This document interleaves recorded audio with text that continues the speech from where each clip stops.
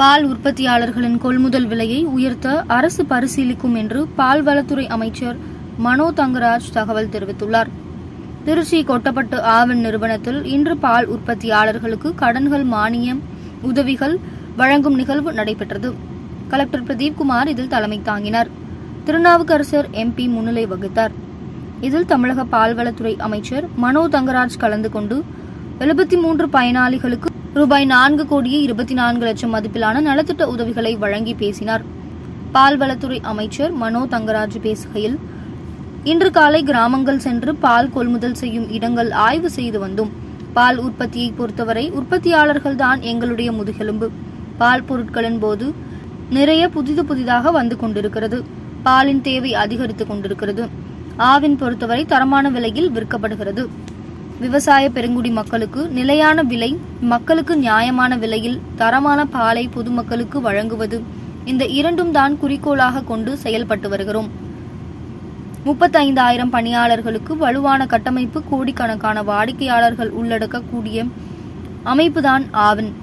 இந்த ஆண்டு இரண்டு லட்சம் கறவை மாடுகள் வழங்குவதற்கு கடன் உதவி பல்வேறு திட்டங்கள் ஏற்பாடு நடைபெற்றுக் கொண்டிருக்கிறது.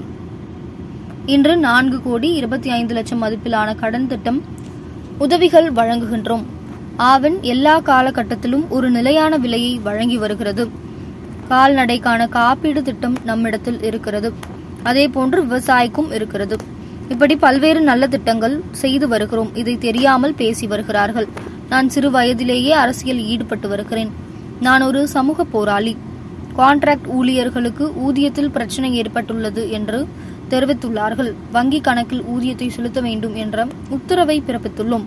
ஒரு பூவிலிருந்து தேனை எப்படி எந்த சேதாரம் இல்லாமல் எடுக்கிறதோ அதே போன்று எடுக்க வேண்டும் தவிர ஆலையில் உள்ள கரும்பை பிழிவது போன்று இருக்கக்கூடாது. கான்ட்ராக்ட் ஊழியர்களுக்கு பதினெட்டு சதவீதம் ஜிஎஸ்டி என்பது ஒன்றும் புரியவில்லை. நாற்பத்தைந்து லட்சம் லிட்டர் கையாள்வதற்கான இருப்பு நம்மிடம் இருக்கிறது. மேலும் எழுபத்தைந்து லட்சம் தேவை தொடங்கப்பட்டுள்ளது என்றார். இருக்கக்கூடிய லட்சக்கணக்கான பால் உற்பத்தியாளர்களுக்கு நியாயமான விலை ஒரு நிலையான விலை அதாவது சீசன் சீசன் இல்லாத காலகட்டம் இல்லாமல் அனைத்து சீசன்லையும் நல்ல விலையில் பால் அவர்களிடத்தில் கொள்முதல் செய்து பால் உற்பத்தியை பெருக்குவதையும் வாடிக்கையாளர்களுக்கு தரமான பாலை ஆண்டு முழுவதும் பால் உற்பத்தி பொருள் பால் பொருட்களையும் வழங்குவதை ஒரு தலையாக கடமையாக கொண்டு ஆவின் செயல்பட்டு வருகிறது. ஒரு நல்ல கட்டமைப்பு ஆவினுக்கு இருக்கிறது. கடந்த காலங்களில் இதனுடைய சேவையை மக்கள் பாராட்டி இருக்கின்றார்கள் இப்போது கூட பார்த்திங்கன்னா பாலுடைய கொள்முதல் ஒரு சரிவு ஏற்பட்டிருந்ததாக கூறப்பட்டது. இந்த ஒரு மாத காலத்தில் அது இருபத்தி லட்சமாக இருந்தது. இன்றைக்கு முப்பது லட்சத்தை தாண்டி இருக்கிறது. நாங்கள் அதை வெகு விரைவில் இன்னும் அதிக அளவு அதிகரிக்குவதற்கு திட்டமிட்டு சில நடவடிக்கைகளை மேற்கொண்டு வருகின்றோம். நம்முடைய மாண்பு முதல்வர் அவர்கள் அரசிடம் இருக்கக்கூடிய பல்வேறு திட்டங்கள் விவசாய பெருங்குடி மக்களை சென்றடைய வேண்டும். அதன் மூலமாக பால் உற்பத்தி பெருக வேண்டும். அதற்காக நடவடிக்கை எடுக்க வேண்டும் என்று எங்களுக்கு உத்தரவிட்டிருக்கின்றார். அதன் அடிப்படையில் பல மாவட்டங்களுக்கு நானும் மேலாண்மை இயக்குனர் அவர்களும் சென்று பால் விவசாயிகளை சந்தித்து பேசி அவர்களுக்கு கடன் வசதி மற்றும் அரசு திட்டங்கள் தாட்கோ டாம்கோ டாப்செட்கோ மகளிர் திட்டம் போன்ற அமைப்புகளின் மூலமாகவும் வேளாண்மை கூட்டுறவு வங்கிகளின் மூலமாகவும் தேசியமயமாக்கப்பட்ட வங்கிகள் மூலமாகவும் பல்வேறு கடனுதவிகளையும் மானியங்களையும் கிடைப்பதற்கான ஆக்கப்பூர்வ நடவடிக்கைகளை மேற்கொண்டு வருகிறோம்.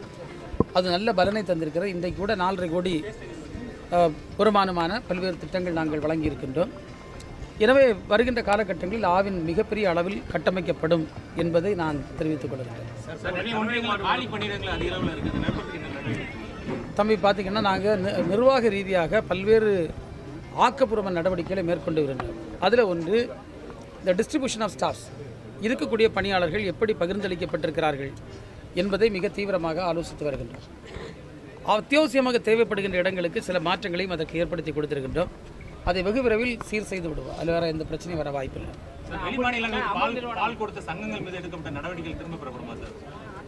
நம்ம அப்படி யாருக்கு தம்பி அதாவது யார் பேர்லையும் நம்ம நடவடிக்கைகள்னு போகலை. அதை இப்போ வந்து இப்போ தனியார் பால் கொள்முதல்னு சிலர் முளைத்திருக்கிறார்கள். இது வந்து ஒரு பேர் ஆபத்தானது நீங்கள் தயவு செய்து நம்முடைய பத்திரிகை துறை நண்பர்கள் அதை புரிந்து கொள்ளுங்கள். ஏன் அது ஆபத்தானது என்று கூறுகின்றேன் என்று சொன்னால் அவர்கள் எந்த விதமான முறையான லைசன்ஸும் பெறுவதில்லை. அந்த ஸ்டாண்டர்ட்ஸை தரங்களை அவர்கள் கடைபிடிப்பதல்ல.